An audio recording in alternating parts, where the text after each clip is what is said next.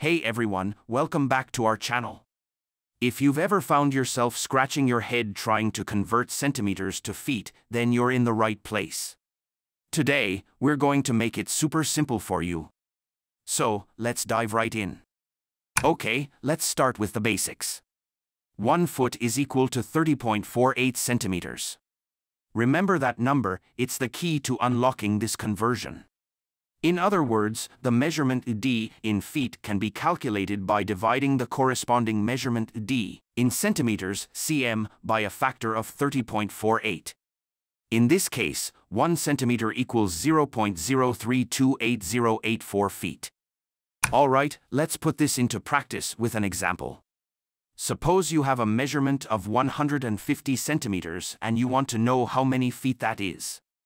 Using our formula, we multiply 150 by 0.0328084. Let's look at the second example. When it comes to electrical wiring, understanding measurements is critical. Imagine you have a power cord that's 75 centimeters long. To visualize its length in feet, let's convert it. Remember that 1 foot is 30.48 centimeters.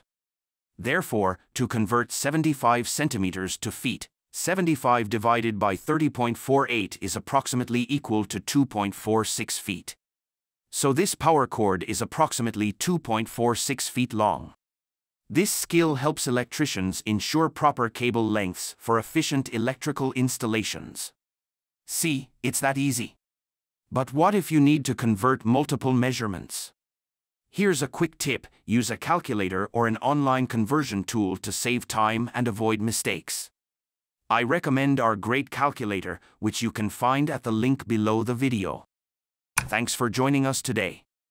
We hope you found this tutorial on converting centimeters to feet helpful. If you enjoyed this video, give it a thumbs up, subscribe to our channel, and hit the bell icon to stay updated with our latest content.